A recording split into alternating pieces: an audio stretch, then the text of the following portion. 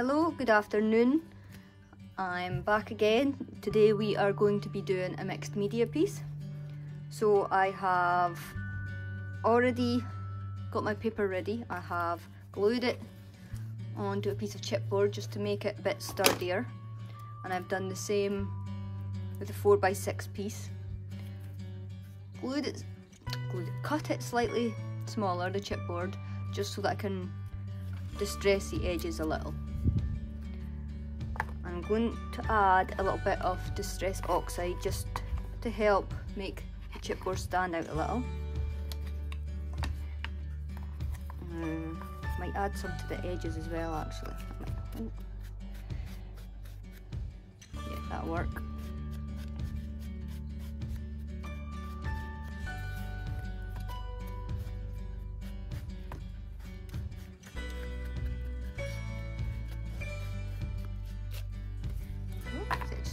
Stand out a bit. Uh, I have stencil here. So this is going to sit about here. So I want the colour just to come from behind. So I'm using black soot oxide.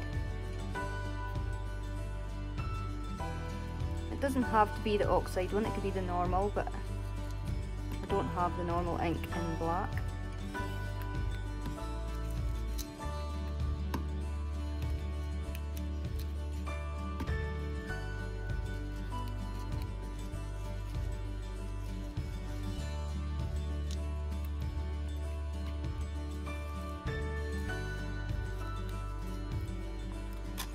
Like. Maybe a little bit down here.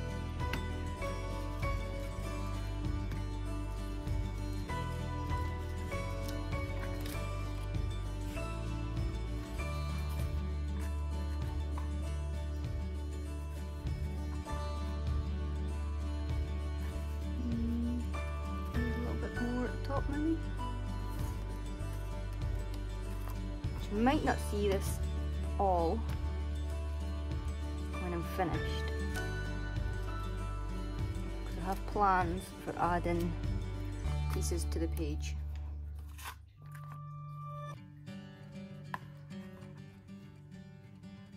Like that.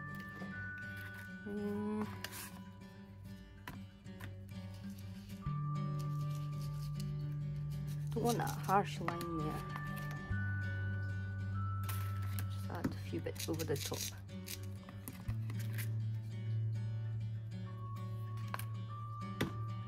I like how it's gone darker with layer in it.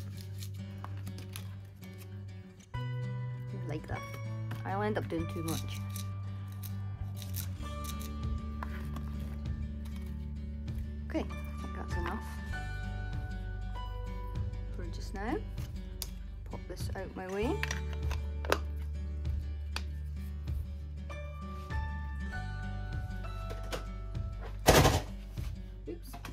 Dropped all my inks. Pick them up later.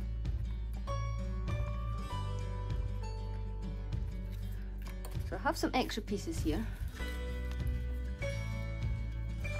Some flowers. Little girl, put a bit of chipboard on the back because I'm going to have that standing up slightly.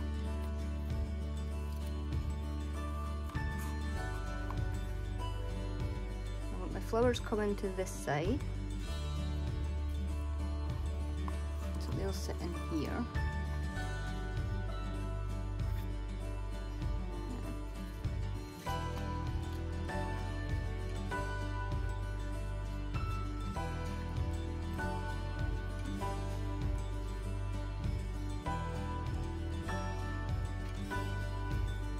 I do have more pieces to add. They're drying a bit at the moment. I've painted them white. These are from resin mold and I have just trying to cover in paint.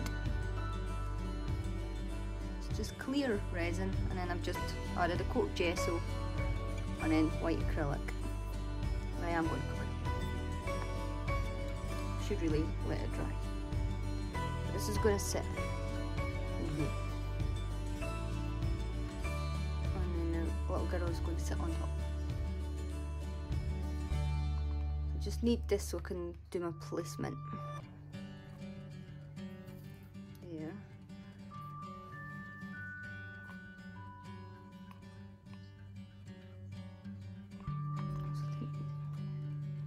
Flowers need to come down a bit.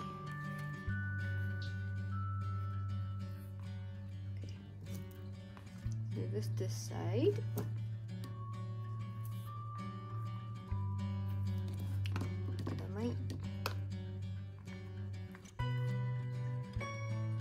Put that up another layer.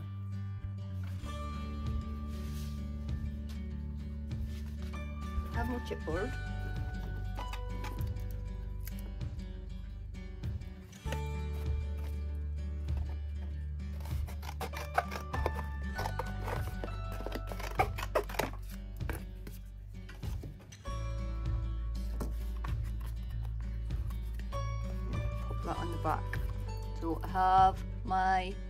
3D matte gel. This is from Finnabair.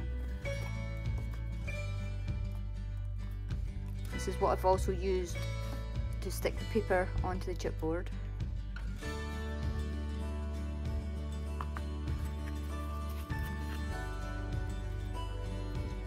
Dog glue. This dries clear, so you won't see once it's dry. Not that you're going to see under here anyway, but I will also use it to glue down my other pieces.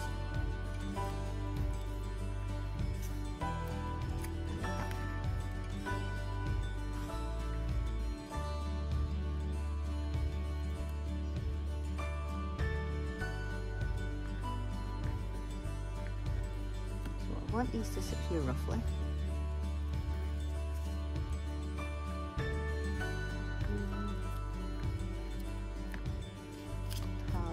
Flowers the bottom.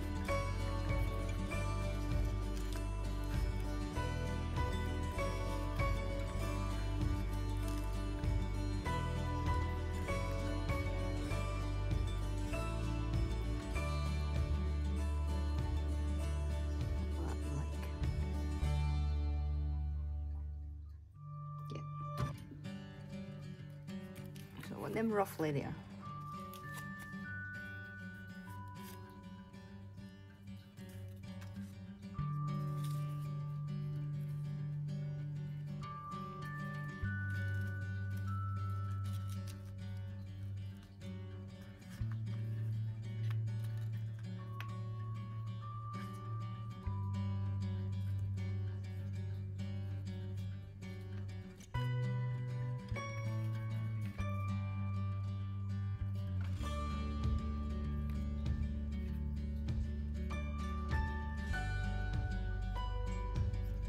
Once I add all the other bits and pieces, this will I'll hold these in place a little bit better. And um, now, could be fine there.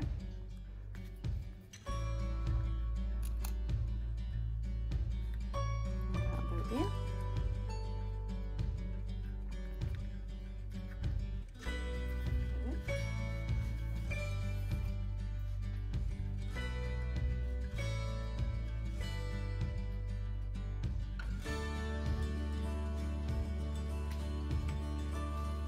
Also got some cogs um, and butterfly.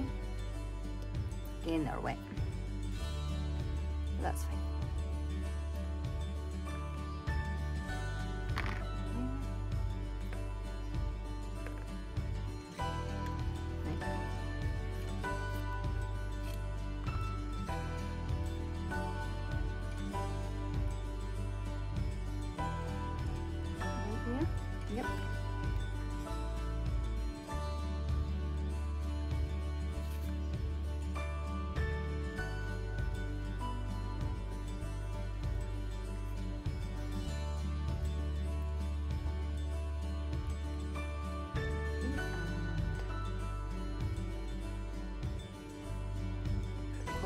Side.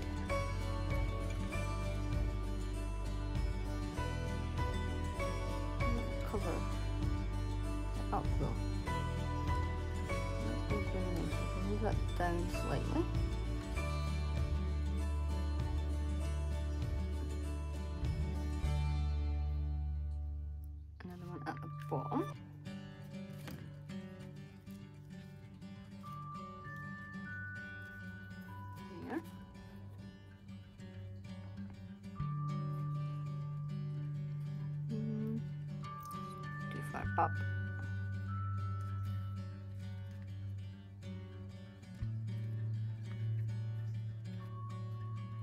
Good thing about this matte gel, it gives you time to move it about.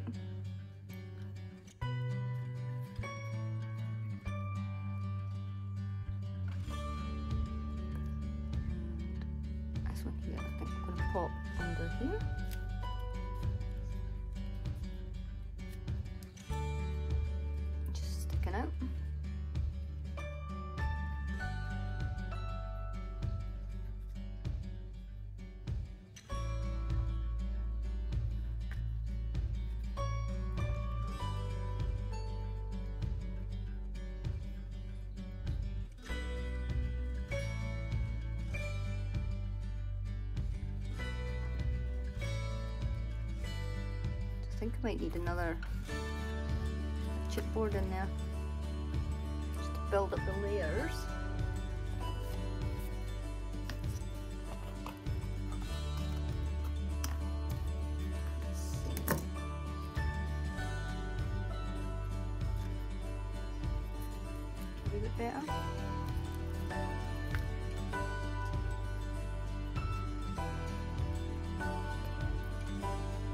Brush for my mark region right next to me, that's okay, I'll just use my finger. Better? Yeah.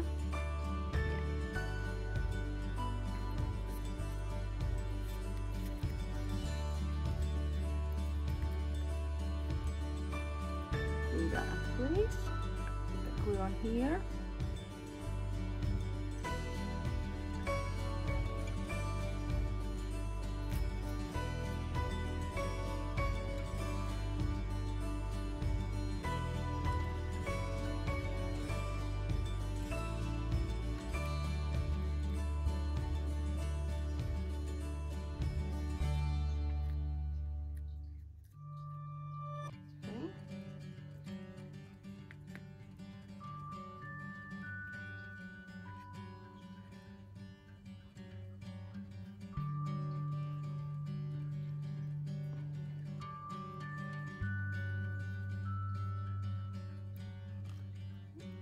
And this will hold all this in place. It's really good adhesive. You can get the heavy body gel as well.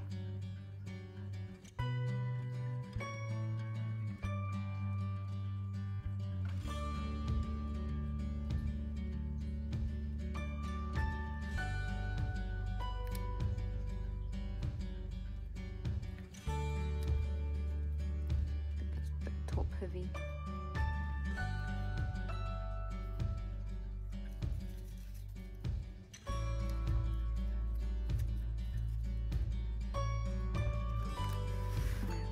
Underneath? Put that under there.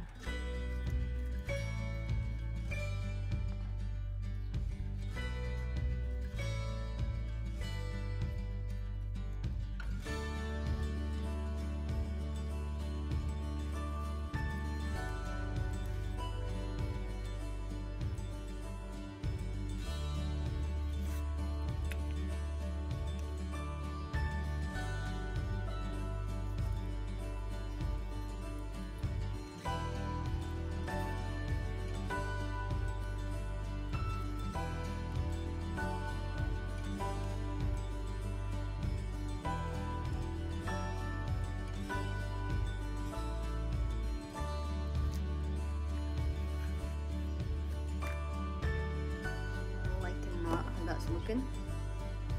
Her head maybe needs held up a little.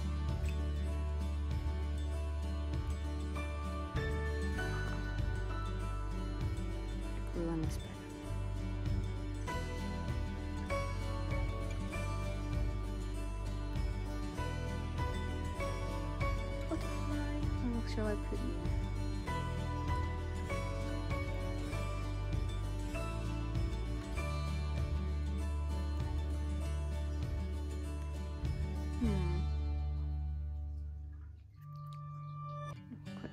Up this way.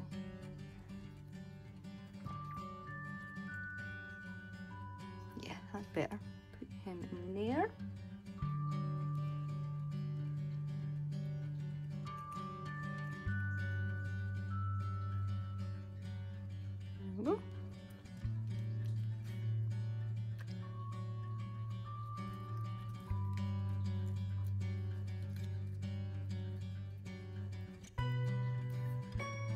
Okay, so I'm going to leave that to dry and clean up my hands and I'll be back soon. Okay, so I'm going to add a little bit of gesso just to the flowers. I don't want them as bright as that. Just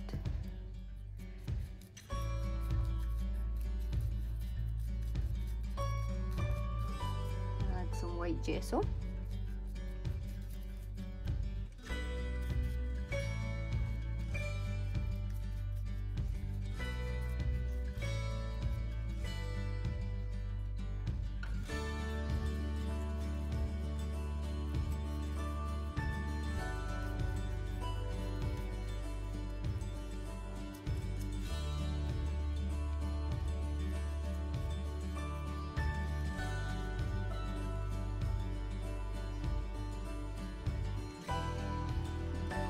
When this dries it'll be a bit more translucent.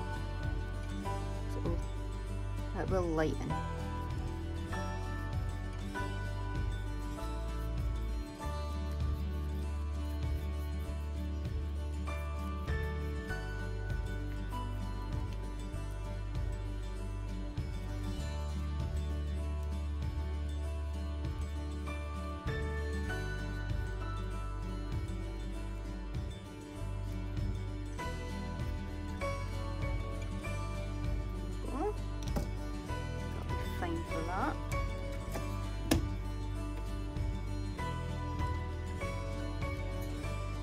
tempted to add a little bit of green just to the edges.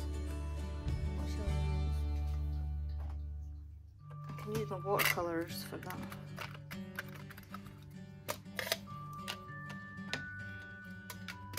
Mm. My brush? Need a little bit of water.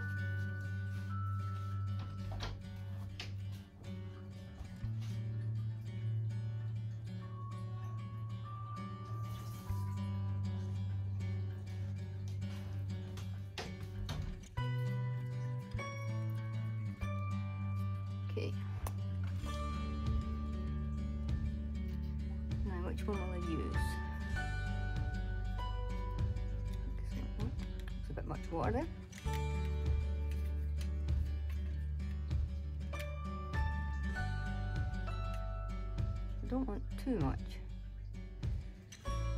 Just don't want it to be completely white.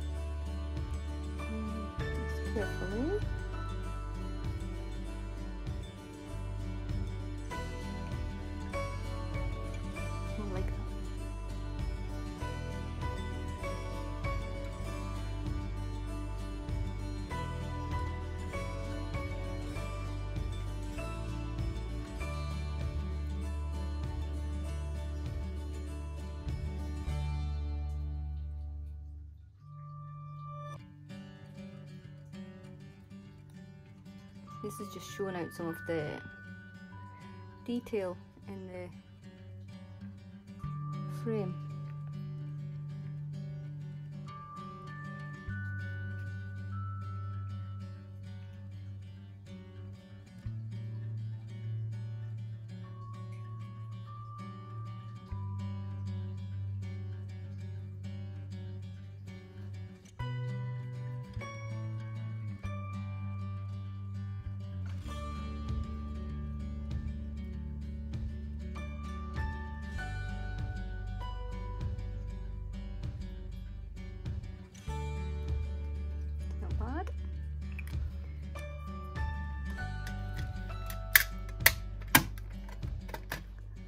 Think I've added a little bit much to that one, but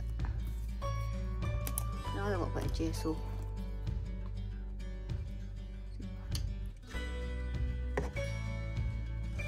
Maybe you should leave it to dry first.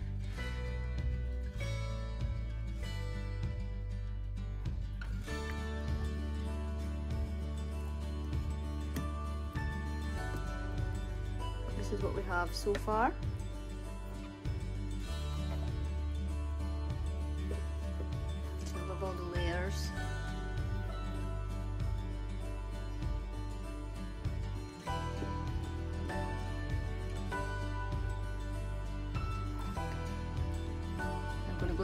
That paint to dry and thank you very much for watching my video.